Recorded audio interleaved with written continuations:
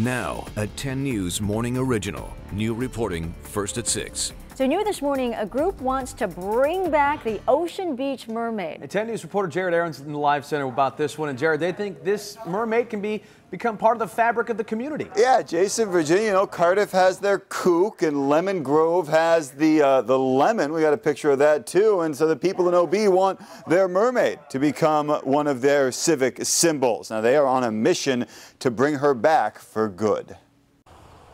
I never realized how many mermaids there are in OB. In a part of town where mermaids are seemingly everywhere, it's the one that's missing getting the most attention. I came by here with my wife and I, we saw her, and then the next day she was gone. Marina captured people's hearts and imagination for a few weeks in May and June, and then disappeared. I took my daughter to go see the mermaid, and she was gone.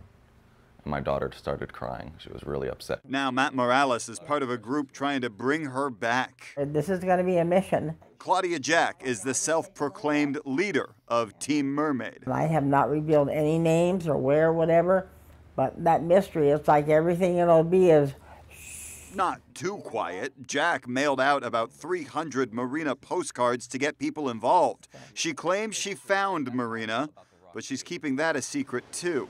Her plan? She cannot return to the rock, okay? Find a new home for the mermaid where she can become a local icon. It's wacky, it's weird and funny, and that's what OB is. So, yeah, I think people will love it.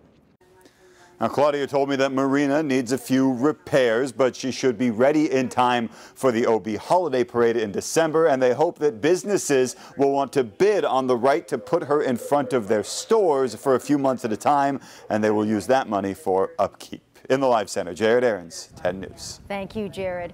So Horton Plaza is now under new ownership.